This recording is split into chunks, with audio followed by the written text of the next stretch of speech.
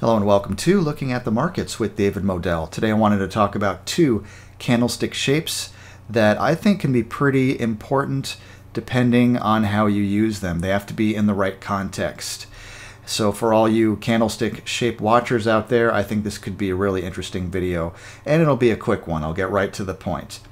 Uh, so the two that I like to look out for, I look out for a number of them, but two that I focus on a lot are the hammer candle and the shooting star candle.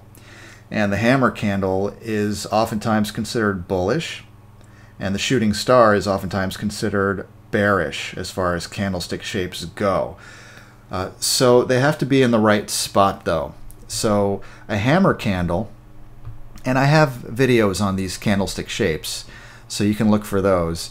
Uh, but when you have a hammer candle, if it's at the bottom of a downtrend, okay, if you have some red candles and then a hammer candle, uh, that could possibly signal a reversal. No guarantees, uh, but as you can see, it worked out pretty well over here, and I'll show you how to find the hammer candles in a moment on TradingView.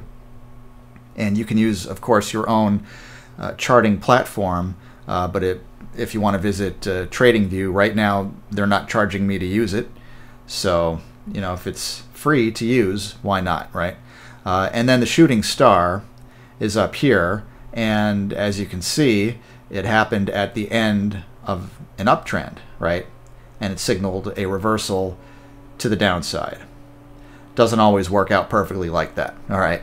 Uh, and then you got another hammer candle uh, at after a lot of red candles, and it signaled the bottom, and then it reversed upwards, right, with that hammer candle after a down move. Okay, so a hammer can- candle after a down move could signal that a reversal to the upside is coming, and a shooting star candle after an up move could signal a reversal to the downside. All right, no guarantees, doesn't always work.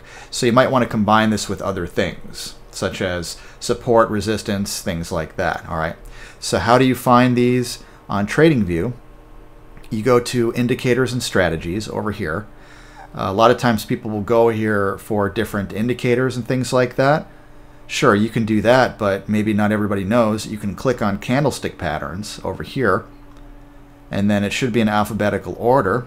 And so hammer is right there, and it even says bullish, because I guess TradingView knows that uh, generally it's considered bullish.